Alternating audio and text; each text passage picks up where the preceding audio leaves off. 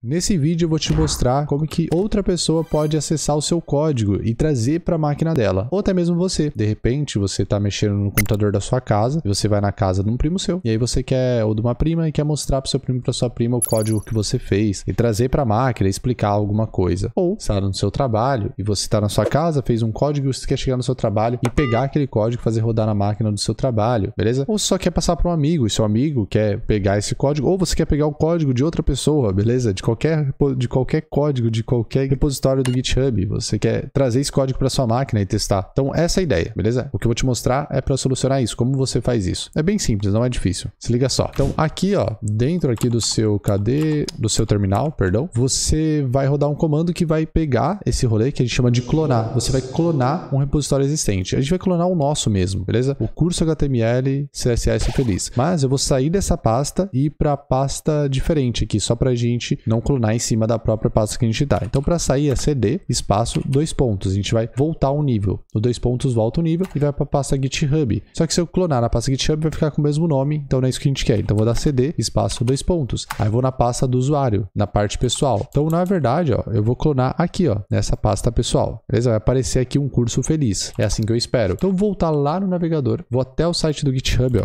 github.com/barra Marco Bruno Live. Vou no repositório aqui do curso, ó, vou em repositórios, ou aqui, né, já estava ali, clica no repositório. O que, que você vai fazer? O repositório que você quer clonar, você vai clicar aqui em Code e aí vai aparecer essa opção. Você pode fazer o download de zip, que é o que o pessoal faz quando não conhece Git, você não precisa mais disso. Você deixa aqui em HTTPS por enquanto, porque a gente não configurou outra forma aqui de fazer o rolê, e coloca aqui, ó, copy, beleza? Só clicar aqui, ó, nesse rolezinho do lado. Aí você vai voltar lá no terminal. No seu terminal, você vai fazer o quê? Git clone Ctrl Shift V. Aí você vai colocar o URL que você pegou, beleza? Aí você vai clonar. Clonar é copiar todo aquele repositório para essa pasta aqui, que é a pasta pessoal. Imagina que você está ou na máquina de outra pessoa, ou você está numa máquina que é do seu trabalho e você fez o código na sua casa, ou é um amigo seu clonando o seu repositório para testar e para tirar uma dúvida sua. Você apertou o Enter, vai perguntar: Ah, não usuário e senha porque a gente já havia feito isso. Se perguntar usuário e senha, é só colocar usuário e senha, beleza? No nosso caso aqui não perguntou porque a gente já tinha feito mesmo. Se eu der um ls, ó, vai ser listado aqui ó, o curso HTML CSS Feliz. Posso dar um cd, curso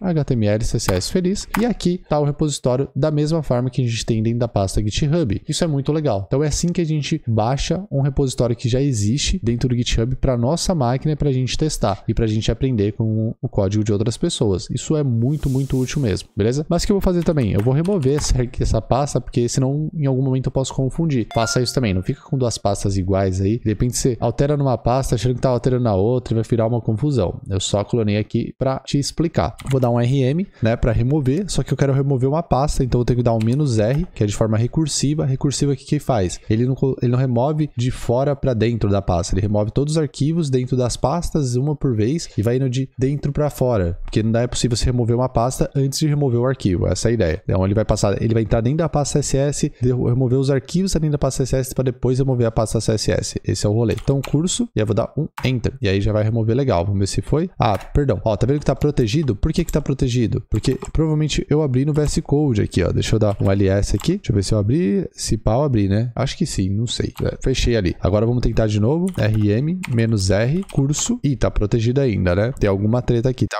aberto em algum lugar. Agora eu não sei onde é. Ah, deixa eu ver se já foi. Não foi possível remover. Ah, já. Não, não removeu, não. Tá aqui, ó. Tá aqui na felicidade. Eu vou fazer uma coisa, mas você vai fazer isso com muito cuidado. Presta atenção. Eu não sei onde está sendo usada essa pasta, beleza? Mas eu tenho certeza que eu quero remover independente de onde está sendo usado. O que, que eu vou fazer? rm menos fr. Respira, você está fazendo um force. Toma muito cuidado com esse comando, beleza? E aí eu vou rodar o comando aqui, que eu quero remover a pasta curso. E vou dar um enter. Removeu. Toma muito cuidado, porque você pode remover pasta do seu sistema operacional. Não quero fazer isso. Se eu der um ls, removeu. Top. Toma muito cuidado com esse F, que você tem que estar certeza, tem que ter certeza que você está fazendo muita certeza mesmo. Certeza, beleza? Certeza certeza. Então faz com medo, mas faz com a certeza. A certeza e o medo junto, tá ligado? Esse é o rolê, por favor. Então, top, dá o LS aqui, tudo feito. Agora sim, eu posso voltar para a pasta GitHub, vou dar um tab aqui para preencher e posso voltar para a pasta curso HTML CSS, dar um code aqui. Ah, já tô indo para um lado mais louco, né? Mas vai funcionar também, ó. Se tiver no terminal, já tiver com o Visual Studio Code instalado, você pode fazer isso aqui, ó. Code espaço ponto, ponta de pasta recorrente, a pasta que a gente tá. Se você der um enter, ele já abre o Visual Studio Code com todo o seu projeto bonitinho. Se você não conseguir, é só abrir o Visual Studio Code, ir lá na pasta File e dar um Open Folder, né? Só isso. E abrir o Open Folder normal. Show? É isso que eu queria mostrar nesse vídeo. Acabou mostrando umas coisas interessantes, como remove também ali uma pasta que não quer ser removida, né? A gente fez também. Então tá legal. É isso só. Valeu aí. Brigadão e bora pro próximo vídeo.